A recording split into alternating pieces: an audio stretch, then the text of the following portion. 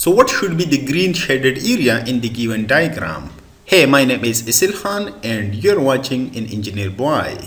So give this problem a try. When you're ready, then watch the video for a solution. Now in the solution, as you can see, the shaded area must be area of the big minus area of the small circle. Now before going ahead, I'm just gonna locate few points like C, AB and E. And of course you can notice the radius of the big circle must be CE plus 18 or you can say CB plus 10 meters.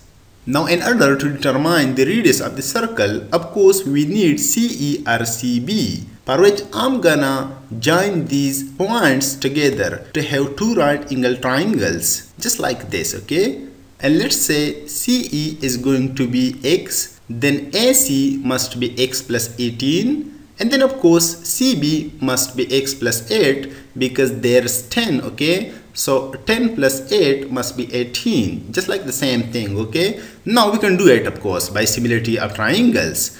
By similarity of triangles, we can say x divided by x plus 8 must be x plus 8 divided by x plus 18, from which we can of course get x equals 32 meters. Or you can say the radius of the big circle must be now 32 meters plus 18 meters. And it is of course 50 meters, okay? That's so simple. So we got the radius of the big circle and now the diameter of the small circle must be of course 100 which is of course the uh, diameter of the big circle minus that 18 of course which is just that uh, small part of the shaded area. So we can get the diameter of the small circle equals 82 meters or you can say the radius must be 82 divided by 2 which is of course 41 meters.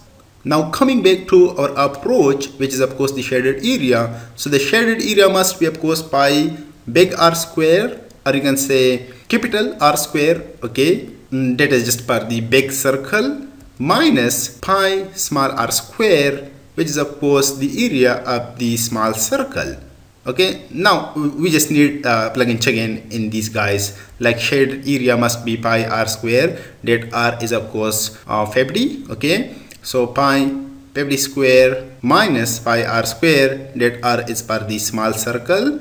So pi times 41 square and that is the shaded area which is 2572.9 square meters. So the shaded area or you can say the green shaded area must be 2572.9 square meters and that's it.